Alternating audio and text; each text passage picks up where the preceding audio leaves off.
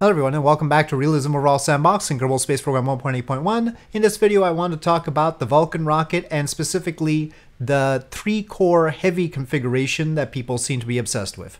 Now, there is a Vulcan Heavy in sort of the pamphlets that ULA has on the Vulcan rocket on their website. It's basically just a single core with six of these smaller boosters, these SRBs, uh, arrayed on it. And then uh, perhaps an expanded Centaur stage, but details were not particularly given. Uh, so yeah, there's that idea, but people pestered Tory Bruno, the CEO of ULA, about this sort of three-stick configuration for Heavy because Delta 4 Heavy was three cores like this, and so they wondered whether Vulcan would have their, you know, ULA's future rocket would also have three cores like this in a heavy configuration. And uh, CEO Bruno decided to uh, show off a model of this configuration, hopefully jokingly. I say hopefully because I don't think it's a particularly good idea. Um, people missed a few things with the numbers in contemplating this configuration that I will now explain. So, Delta 4 Heavy, I, I wasn't particularly enthusiastic about in the first place. I find it very inefficient, but one of the major features of Delta 4 that's missing in Vulcan is the fact that the cores are hydrolox, hydrogen and oxygen, which means they burn more efficiently than the methalox cores that we have on Vulcan. Now, at the same time, Vulcan is providing the bulk of the Delta V to get to orbit, the bulk of the energy to get to orbit with its methalox cores. So they're very heavy compared to the rest of the rocket. Uh, the upper stage and the payload are not comparatively as heavy. So when you add cores to it, you don't get that much extra thrust to weight ratio. And Vulcan, as far as I know, uh, when you have just a single single stick like we have here, uh, it needs to be underfueled in order to actually get off the ground. Now that's not unusual. I mean, uh, Delta 2 wouldn't have been able to get off the ground without boosters either. This is actually better than Delta 2, so, you know, the idea of rockets that have trouble getting off the ground without boosters is not weird. It happens. So if we underfuel about halfway there, and uh, then we have a thrust weight ratio that can get off the ground. Of course, without the extra fuel, we wouldn't have a 32 ton payload. Speaking of the payload, the for the configuration that has the six boosters, let's slap six boosters on here. Okay, that's a lot of thrust weight ratio you'll notice, but we've underfueled a bit, so let's pop that fuel back in. Okay, so the payload capacity on on the website for this configuration is 27.2 tons, and if we resize this down to 27.2, uh, that's about 27.2 uh, we see that thanks to the high thrust weight ratio, as long as we can do that part of the burn efficiently, we might be able to get this to low Earth orbit. Honestly, the rocket is meant for high orbits, not really for low Earth orbit, and we'll talk more about that in a sec. And sorry for the textures, uh, this one being not quite in the right position, but couldn't qu quite get the flame. I'd have to make a new part, like for the right booster if I wanted to get the flame oriented properly. Uh, but now we've got a 1.1 thrust weight ratio instead of the 1.5 thrust weight ratio, which means that we need more total delta V in order to get to orbit. Uh, so we can't do it with the 9,500 normally. We need more than that. But as far as I can tell, the uh, the most I'm willing to put in here is about 32 tons. I mean, we could say it's a little bit more than that. So you've got these extra large cores with expensive engines at the bottom, and you're not getting that much more to orbit, is the problem. And you've also got this thrust weight ratio issue. Now, uh, what if instead of aiming for low Earth orbit with that, we aim for a payload going to high orbit instead? Because this looks very painful. So let's say going to the moon. Well, one thing you can see is resizing the payload sure doesn't help our thrust to weight ratio at the start very much because again, most of the mass is in the cores. So even if you took out all the fuel from this stage, Now, th- now this stage has no fuel, and we only have a 12 ton payload at the top. The surface thrust to weight ratio is still 1.16. Because again, because these are Methalox stages instead of Hydrolox stages, they're very, very heavy. Now, uh, with Falcon Heavy from SpaceX, they have kerosene and oxygen, which is also not very uh, uh, uh, efficient fuel.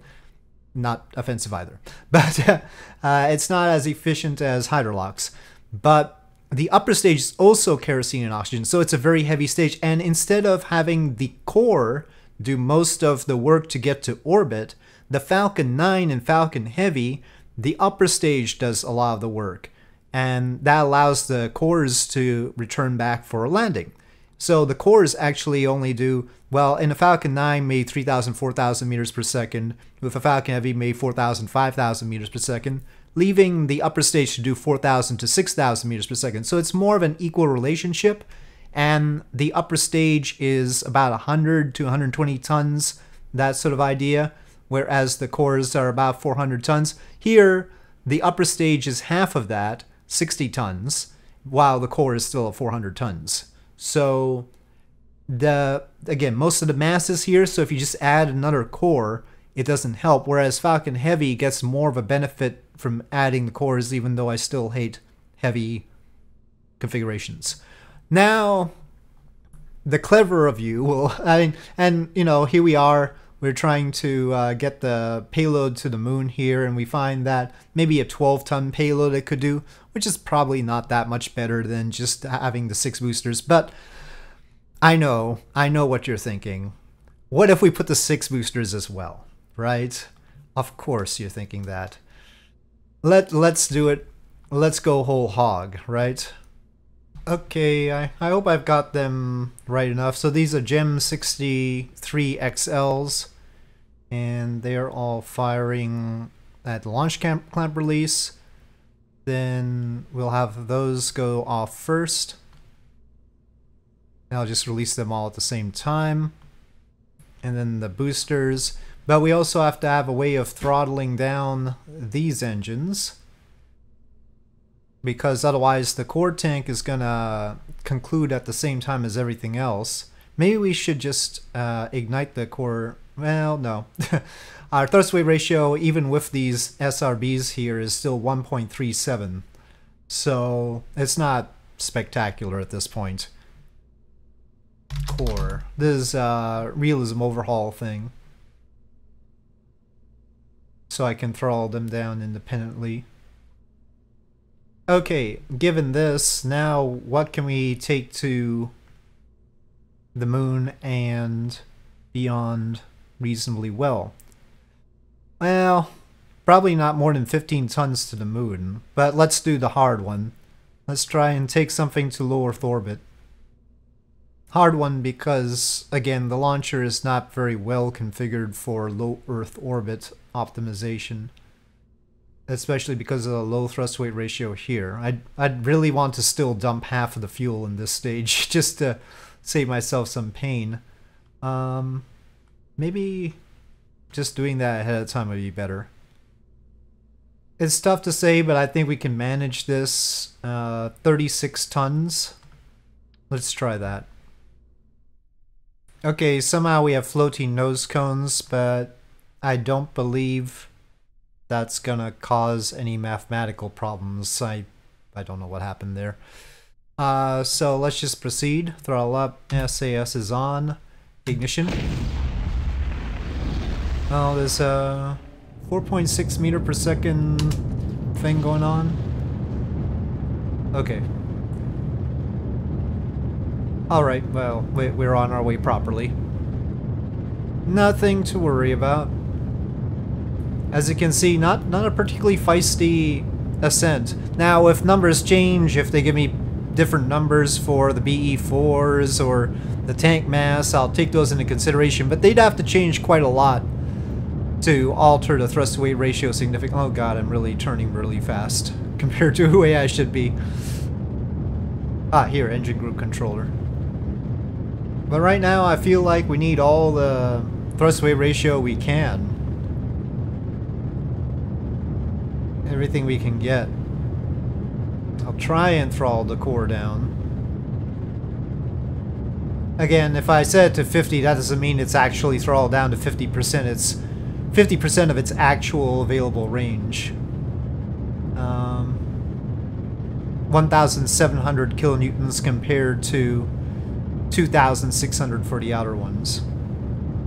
Okay, booster set.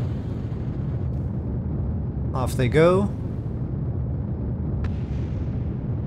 I don't think they're recoverable, so it's fine. I could have uh, turned these a bit, but I decided to keep them in line like this. I thought that was more fun.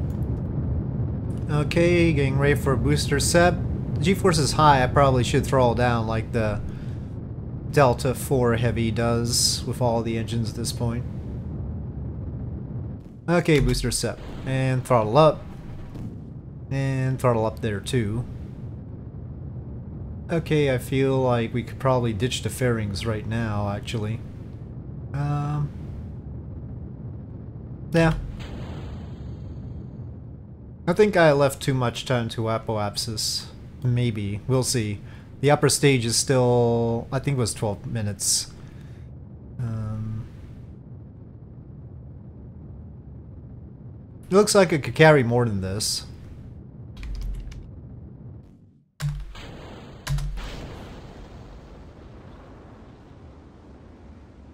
We'll see how much we end up doing and then we'll work from there.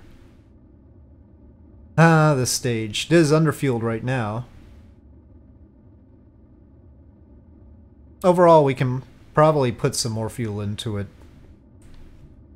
Okay. Yeah, we made it to orbit with like 929 meters per second left, and it's pretty high on the apoapsis as it is. So, uh, I'm going to adjust, and we're going to see if we can pull up a heavier load to orbit with this configuration. The idea that, oh, maybe, did it? No, it didn't top it. Uh, did it top it off? Or add some fuel to it? I wonder. Um, because we are on the clamps and it didn't lock that stage. But anyway, maybe let's just top it off. I don't think thrust weight ratio wise it makes a whole lot of difference down there. Up here it sort of does, but we seem to have enough, so I don't want to sit through 19 minutes, but 48 tons. Can we do 48 tons with this? It's an interesting question. When we get to the upper stage, it's going to be 0.19 thrust weight ratio. I don't have good feelings about that at all. Um, you know what? Let's just underfuel that. Um, I don't know if that'll work out, but let me lock it this time. Okay, so I'm gonna lock it and unlock it, and we'll see. So, but 48 tons. Let's see if that works. The problem is the delta V number it's giving me isn't taking into account the way I'm throttling down the core and then throttling up again and using it as a part of another stage. Okay, here we go again. Throttle up. SAS is on. Ignition. And launch. And let me unlock that now.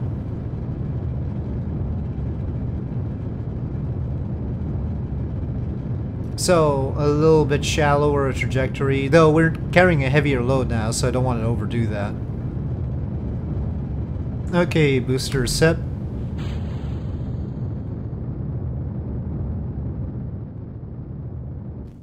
Okay, booster set. And throttle up. And more throttle up.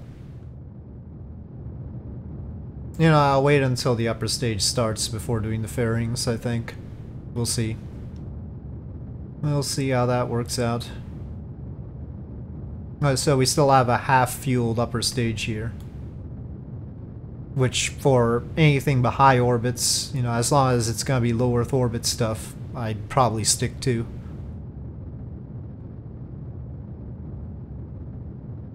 Nah, we're going a little bit high now.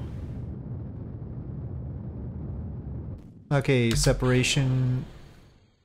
Uh-oh. Separation and ignition. And fairings.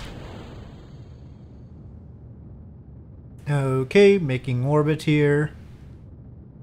Still a little bit high on the apoapsis side, but it's fine overall. And shut down 437 by 220. So I'd say probably 48 tons is a good estimate for this configuration where we have three cores plus six boosters. Uh, serious stuff there. I don't know if they've built the cores to withstand that sort of thing. Well, the center core anyway, uh, to withstand that sort of thing. But uh, well, could do it. Could do it. I I think that does it as far as experimentation on this topic is concerned. I'm not going to launch it without the boosters. That's just too painful. The thrust to weight ratio is too small. I mean, with without the SRBs, um, with just the liquid boosters. I don't want to do that. Maybe, I mean, you know, you could slap on two and maybe it'll be all right. But, you know, you could get off the ground with three cores and no SRBs. It's just going to be really, really slow. so 1.09 thrust to weight ratio, and you're going to lose quite a lot in terms of gravity losses like that, unless you underfuel the stages, but then why? But, uh, well, anyway, uh, you guys can reason it out from here and I'll leave it at that. So thank you for watching. I hope you enjoyed this video. If you did, please do press like. If you have any comments or suggestions, please leave them in the comment section below, and I'll see you next time.